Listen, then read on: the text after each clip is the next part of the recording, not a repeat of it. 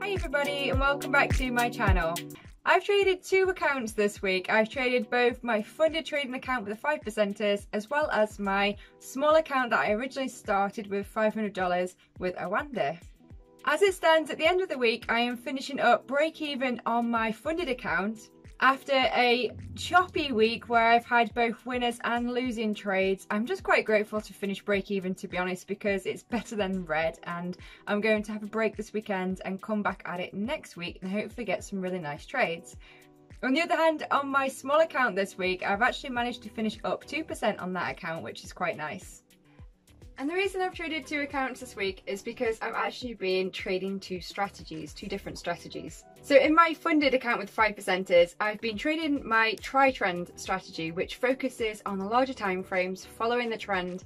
I can maybe do a separate video talking about that in a little bit more detail, but I've been predominantly keeping just that strategy in that account.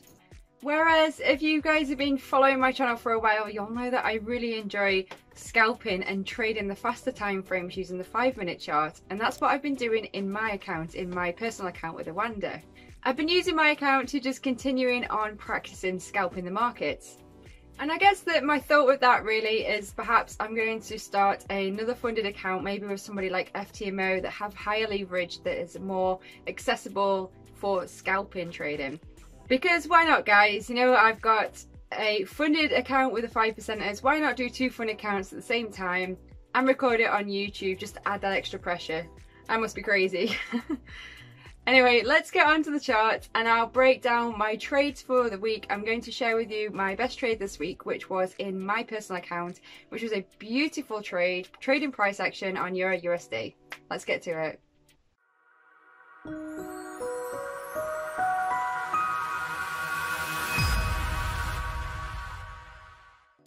Guys, so I have the charts loaded up here for Euro USD. I'm going to show you the trade that I took, which is a really nice trade. I took it on Monday, the 8th of March.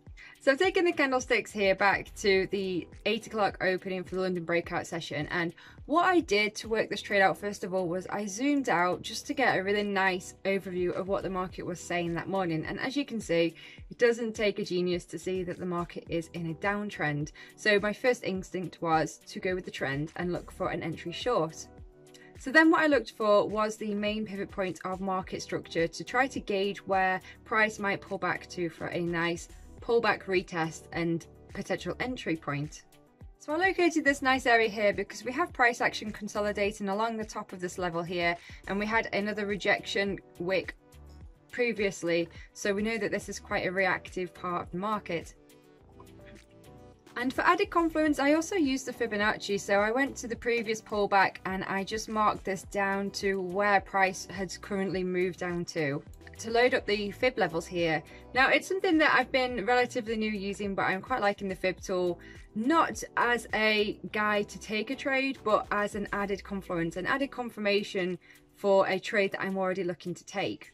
So after joining price action with this fib tool together with the 50 moving average, I can see here that this area around the 0.5, the 50% retracement level, which matches up with market structure and the EMA, is a nice spot to look for for a pullback. So once I had this initial plan laid out, I basically sat back and just waited for the market to pull back into that area.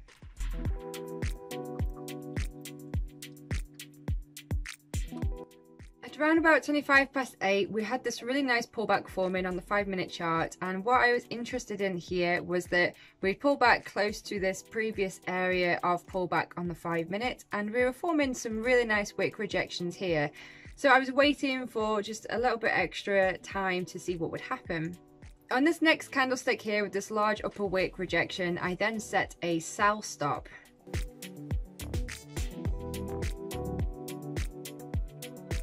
So I set my sell stop to be triggered below the low of this closing candlestick here using a 10 pip stop which puts my stop nicely above the resistance of this market structure. And I used a 2 to 1 profit loss ratio. So I was risking 10 pips to make 20 pips. Price pushed down and activated my sell stop order. And as you can see we just had this really beautiful nice move down. So it was a classically gorgeous trade because I was not in drawdown. I just got into this trade and I just sailed it down towards my take profit zone. I was really happy with this trade. It's a beautiful way to start the week and this made me my 2% win into my small account, which is what I am using to just really practice and get confident scalping because it's what I enjoy and I know from backtesting that it's profitable, but for some reason my emotions seem to get in the way a little bit with this. So I'm just working with it, I'm just developing it, and my goal with this really is to apply this to my funded account, or to a new funded account. Speaking of my funded account, let me just show you my results from this week. So here is the MetaTrader 4 platform for my live funded account with the 5 percenters and I've taken a few trades this week. Um, the first couple of trades were actually break even. I had a losing trade on Euro Swiss franc and then I had a winning trade on Euro CAD which was quite an emotional trade because I moved my stop, tried to trail my stop and I ended up cutting this one short and I could have won a lot more. I'm in two minds with it. Let me show you the charts. Okay, showing you the results of this trade is pretty brutal that I got out when I did. Um, I won't explain it all in detail, but you get the gist that my entry was up here and my original take profit was actually a two to one, so it was down here. But I ended up getting out of this trade in 1R, which was 0.25% profit. Now, yes, you could say that I should have followed my plan and I should have let the trade play out. But the reason I cut this short was because that at the moment in time that I was in this trade, I was currently down on the week. I was down 0.25%. And I was thinking to myself that I would rather cut the trade short and be break even on the week and not be red on the week than let it run and let it potentially stop me out or even if it won I didn't want to risk losing to win, which obviously that's not ideal, but this is what the journey of trading is about. It's I'm not saying that I am already a great trader. I'm working towards that, and th these are the hurdles that you come across as a trader is dealing with these emotional sides. And this week has been a little bit emotional for me, and I would rather end the week break even, have the weekend to relax, and get into a clear state of mind for next week, where at least I will be starting on an even field rather than potentially starting in red, which was what I was conscious of when I was in this trade. So needless to say, if I'd let this trade play out, I would be up 0.25% on the week on my funded account, but I actually cut this winner too short and as a result, I'm break even on the week.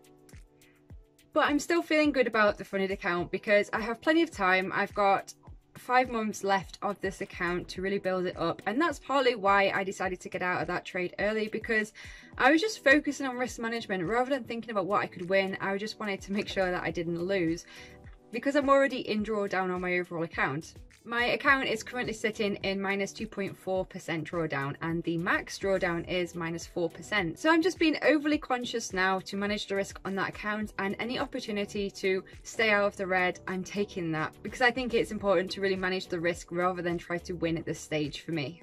So March is still green. I'm going to take it easy this week and hopefully next week I'm going to find some really good A quality opportunities in the market so that I can continue the steady growth towards the green. I nearly forgot to say to you as well guys that this week I have been working with a developer working on creating a Forex chat room which I'm super excited about. Although it's not live yet, it's hopefully not that far away and I have actually created a form. I'll include a link below if you're interested in joining the chat room. It just uh, allows you to sign up with your email so that I'll get an idea of who's interested and I can keep you posted and let you know when it's ready. I hope you guys have had a fantastic week. Let me know how you've gotten on in the comments below. If you've enjoyed the video, be sure to hit the like button and don't forget to subscribe for more content and I'll catch you in my next video. Thanks guys. Bye.